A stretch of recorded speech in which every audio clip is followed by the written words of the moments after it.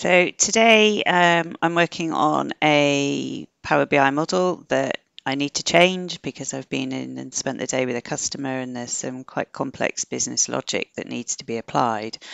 Um, and whilst I'm working on this particular report, um, it, it, occurred to me that I wanted to show you um, it, it's quite a, a straightforward um, feature within Tabular Editor. Um, but when I when I was explaining DAX Debugger to some friends, um, they hadn't seen this. So um, this is all about table preview data. I've opened up Contoso Lite using the load model from um, the local instance and loaded up Contoso Lite. And you can see here I've got all of the tables in my um, tabular model. If you click on customer and you can see it brings up various details about um, the customer table. If you right click, you get preview data. Now preview data gives you the table um, and and you can have as many as you like loaded. So you can just preview data and they sit in, in one tab next to each other. Now, if you're, so if I just, um, and what you can do is you can just place them wherever you want them to be, sort of drag and drop and place them. And what I like to do is if I'm writing um, DAX, I want to see the table and I want to see the data, and it really helps me understand you know, my DAX and what, what measure I should create. And if I click on here, and if we open up, um, I don't know, uh, top N sales, or we use this one, it's a little bit more complex. Um, but what, what we can see is we can look at, cus we've got our customer table, but we've also got our sales table here. So I might say, well, actually, I, I really want to look at sales. So I bring my sales here. And if I've got the date time 18th of May 2027, then what I can do is um, I can then filter this on the date time. And you think, well, actually, is that date time is that my order date or my delivery date? And you can go into here, see here, new diagram. You can click on new diagram. And if I pull that in, it'll pull my table in and then I can add all related tables. So it will tell me that my main sales with my date, um, and you can drag and move it around. The one with the active relationship is this one. So it's my order date. So I can see it's my order date there.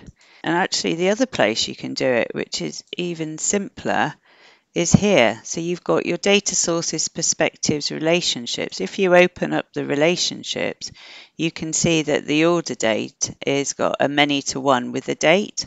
So um, there are two ways that, that you can find out which relationship it is. So we know the date is the 18th of May and it's the order date. Um, you can you can um, sort and you can filter. And actually, this is so much quicker. I'm working in data flows at the moment, and it's much quicker to look here. And it gives me all of the information that I need very, very quickly of, of what's stored in the model. So if I go to the custom filter, and what I want is that I want to see on my sales table, because I want to check my measure, 18th of May and I want it for 2017. So if I press OK, and you'll see it orders, um, it creates a filter for me so I can check and I can see. And I might think, right, okay, well, let me just let me just validate and check what the results are. So if I do a pivot grid, I can pop a pivot grid in and then I can put my top N sales and then um, we want to know maybe which store it is. So if we click on the store, we can find out um, the store, so country and online. So we've got online is 237. So I want to know which is the, um, what's the number, because if I look in my sales, I've got a store key. So what we can do is we can just say, right, let me just quickly look at this table and I could filter by online. Say online is 9999, which is the store key. So if I then go back to my sales table and go to my store key and my numeric filter, so you can see how you can just type it in and three, four, five, six, close. So that gives me my store key. And then I want to find out if I look at my measure, and my measure here, sales, it it loses it. So you have to keep putting it back again. Um, it's the line amount, and if I look at my pivot grid, it should be 237.592, and you can actually pop the pivot grid, which I quite like. I like having all three of them on the side, so I've got my tables and my pivot grid and my measures, and if I'm being really pedantic, I like the pivot grid next to it. So we can say online 237, so this is our sales table, and we've got our our price there. So when we look at online, online is 237.592, which is the top sales on the 18th of May. But when we actually look at our, uh, our measure, which is quantity times net price, we can see that the 237.592 is actually, there's only one of them, and that's the price, whereas all the others are actually more. So um, the top N, and this is where it's really useful, where you can drill down into so, so much detail. It's an ascending order, so it's actually giving us the lowest value on that particular day. And what we can also do um, is we can pull in, if, if we wanted to, we can pull in a DAX query to actually um, show that as well.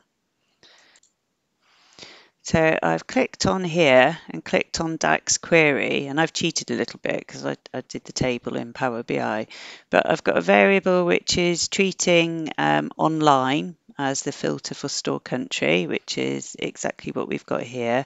I've got 18th of May as the date and then I'm summarizing the columns to get my country, quantity, year and net price. And so if I then press F5 when I click in here and press F5, it gives me the table here, which you can see that actually that the, the one that's the highest value on that particular day is um, this.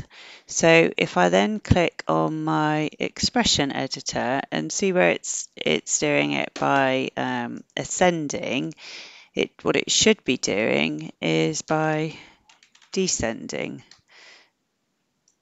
rather than ascending because ascending is from one one to the highest number whereas descending is is going down but is actually top. So now if we then press tick yep and you'll see it's made structural changes. So if you press save then you will see that this online version changes to the 7195 which you can see here is the top sales on that day. So by using a table, we're able to, um, when, when you save back to the current database, it loses its filters, but we're able to filter our table and we can see exactly what's happening with each of the tables of our data. We've got a pivot grid which shows us a summarized version. We've got our expression editor which then shows us exactly how the DAX is being worked out. And we can even write DAX queries, which will visualize the table to show us the table amount. And whilst I've got all of these on one screen, um, for the sake of this video, what you can do is you can pop them all over your screen. So if you've got big double screens like I've got, you can you can see everything, and it just gives you um, complete visualization of, of the data and the tables and how you're manipulating them and how you're changing them. So I really, really like this, this preview data uh, table, which allows you to, to, to filter and to see and to actually see what's happening. Because at the end of the day, what we're doing is we're, we're, we're filtering tables, we're looking at the row context, we're grouping, and, and this gives you the ability to do that. So I, I hope you found this useful.